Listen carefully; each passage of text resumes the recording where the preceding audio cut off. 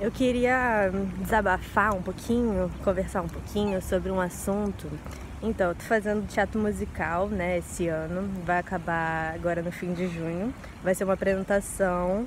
Vai ter dança, vai ter canto, cada um vai ter um solo. O meu solo, eu fiz questão de escolher uma personagem trans, porque eu sou trans, sou gênero fluido, né? Então, eu precisava de uma coisa que eu me identificasse. Eu não queria ser simplesmente uma mulher, eu não queria ser simplesmente um homem, eu queria ser um personagem trans.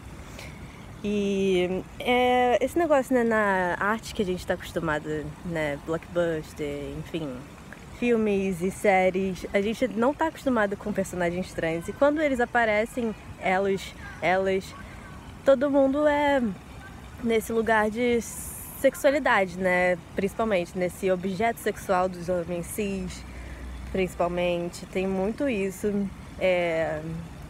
Tipo, eu não consigo imaginar um personagem é, homem trans em musical até agora, sabe? É, por mais que eu pesquise e tal, não é uma coisa conhecida e, e vista. E não é o meu caso de ser homem trans, mas é um exemplo.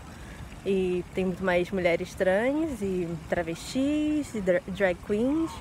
Mas enfim, o que eu tô querendo dizer é, tipo, é, esse espaço de, ao mesmo tempo, o sexo poder ser empoderador, mas também poder ser algo meio que de escravidão, né? De subordinação.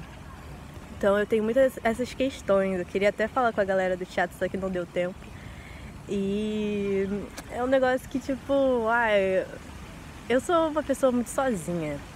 E eu acabo sempre meio que resolvendo as minhas coisas sozinha, mas é, é um negócio que eu quero colocar para fora, eu quero colocar para o mundo e quero trazer isso pra gente meio que ver a arte desse jeito e querer ter mais personagens além da cisnormatividade, além da binaridade, sabe?